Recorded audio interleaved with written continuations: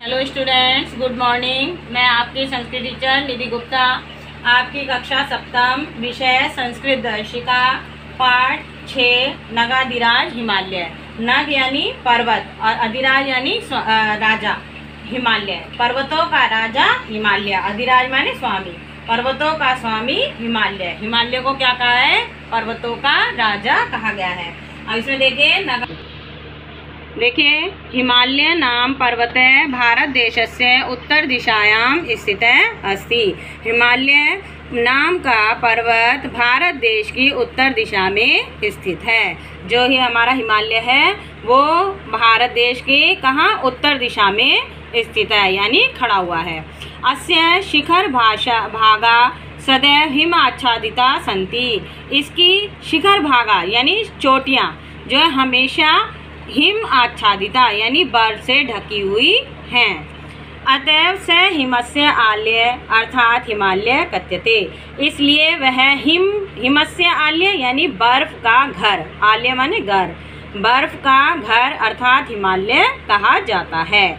स विश्वस्य समस्तेषु पर्वतेषु उन्नतम अस्ति।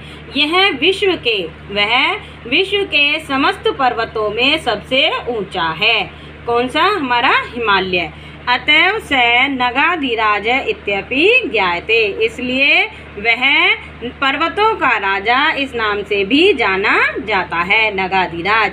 ठीक है? हिमालयात बहुत संख्या का नद्य निस्सरंती हिमालय से अनेक संख्या में नदियाँ निकलती हैं। बहुत सारी नदियाँ निकलती हैं।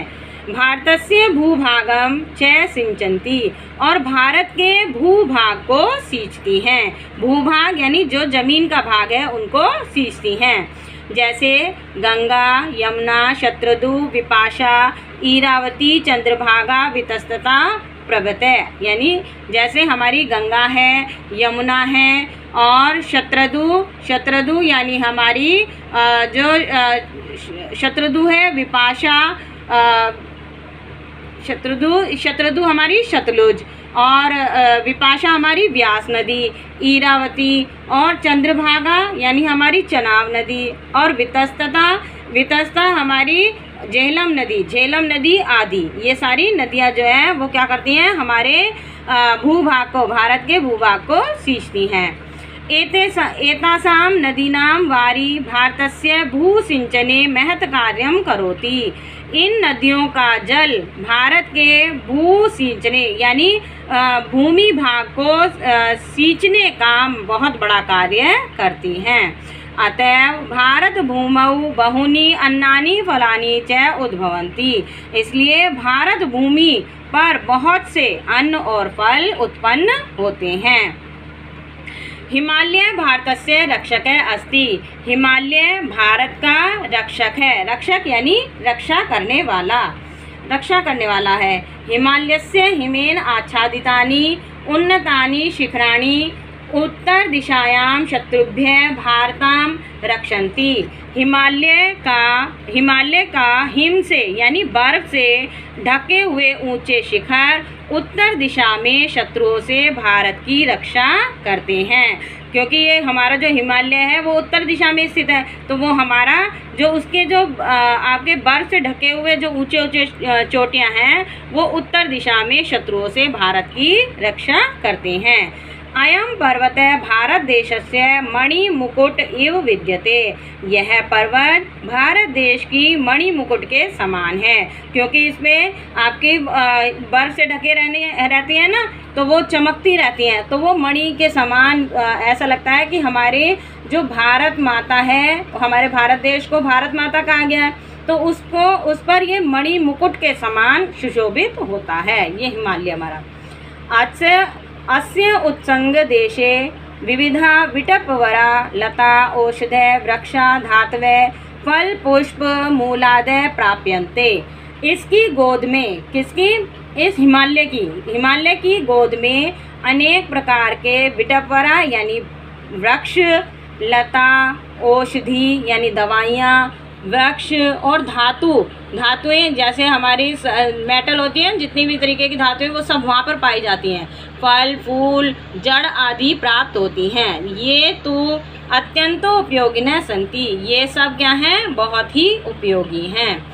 एतानी वस्तुनि अपि जनान महत उपकुर्वन्ति ये सब वस्तुएँ भी लोगों को, लोगों पर महान उपकार करती हैं।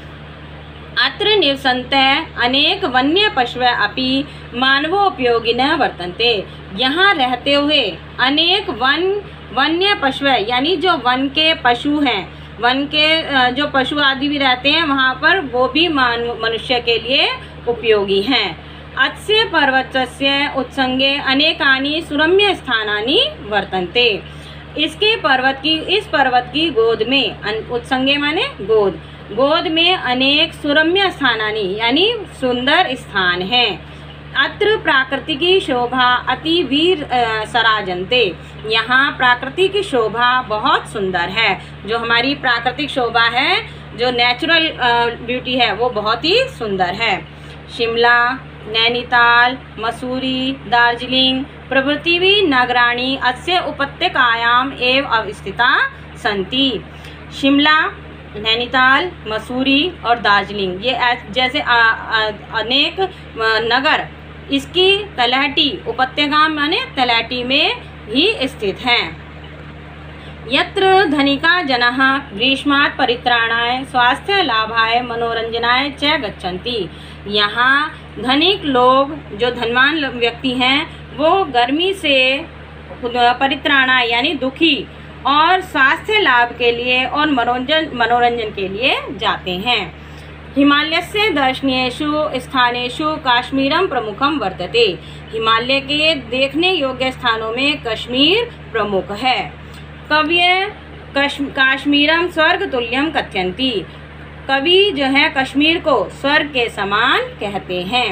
भारत देशस्य शासनम हिमालय से रक्षायै तत्परम अस्ति। भारत देश का शासन हिमालय की रक्षा के लिए तत्पर है। जो आ, हमारा देश का शासन है वो हिमालय की रक्षा के लिए तत्पर है। तो हम सबको भी वयम प्राणिन अपि हिमालय से रक्षण करिष्यामे। तो हम भी प्राणों से भी अधिक हिमालय की रक्षा करेंगे। तो ये हमारा आपका हिमालय नगा, नगाधिराज हिमालय, ये आपका लेसन मैंने पढ़ाया है।